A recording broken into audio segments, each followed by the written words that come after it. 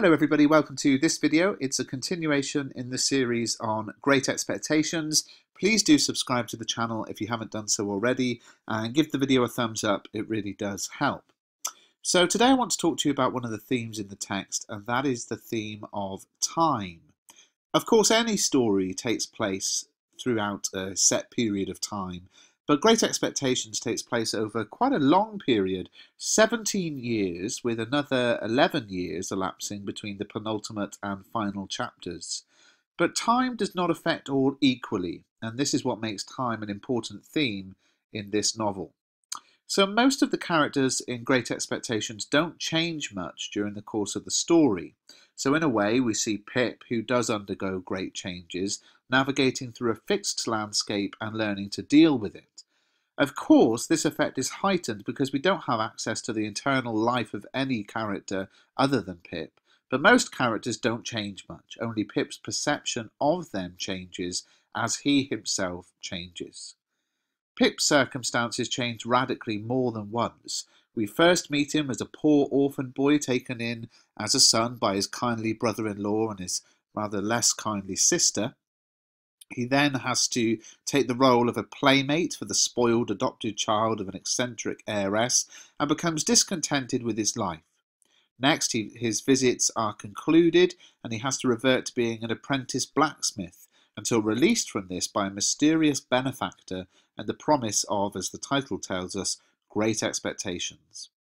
He then lives the rather aimless life of a young gentleman waiting to come into his inheritance until meeting his benefactor, discovering to his horror that it is not Miss Havisham, which means his relationship to Estella has not been plotted out towards their marriage, and that the man is an ex con whom the newly gentrified Pip looks on ironically with revulsion. The final transformation that he makes, of course, is to decide that he doesn't want Magwitch's money, at which point he can start to repair the strained relationships in his life and take charge of his own future as an honest man of business. So, as I've said, around Pip, the other characters mostly stay as they are, and any change in their relationship with him is because of the changes in Pip himself. So, although Pip is, eh, exhibits some characteristics that are not very admirable at times, particularly in relation to Joe and Magwitch, it's worth noting that the essentially good main characters, Joe, Biddy, Herbert, Wemmick, Jaggers, all like Pip, while the essentially bad main characters, Orlick, Drummle, don't like Pip.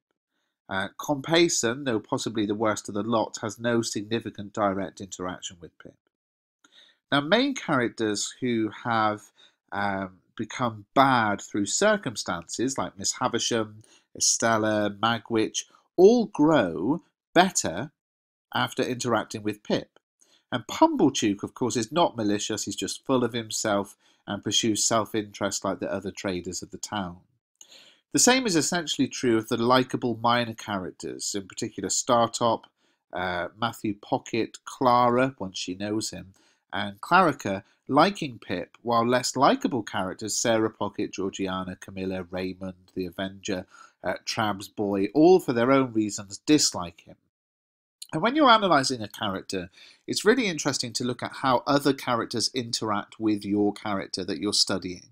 So, you know, you can analyse a character through what they say and do, through what a narrator might tell us about them, but also through how others react with them and, and how others seem to respond to them, what they seem to think about them. Now, that's quite interesting in this story, as I said, because the positive characters seem to like Pip, the negative characters not so much. There are themes interwoven into this story, but the important point is to see how these factors translate into Pip's development through time. When answering any question on any theme, it's always wise to mention changes in time. Uh, say what has changed from the start of an extract to the end, how a character has changed within the novel, or how events bring about change. Exam boards have said numerous times that um, some students write about characters as if they are the same all the way throughout a text, and we can certainly explore that uh, in this answer.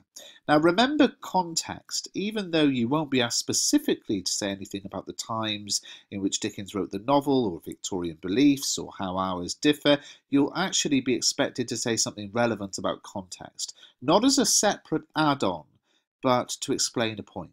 For example, if you were talking about Jaggers giving Estella to Miss Havisham, you could mention that there were no child welfare uh, at the time. Orphanages were overcrowded and cruel, and a girl like Estella would likely be left of being on the streets or be sent to the workhouse. So, although we would think what he did terrible today, possibly, in the context of the time, he probably saved her life.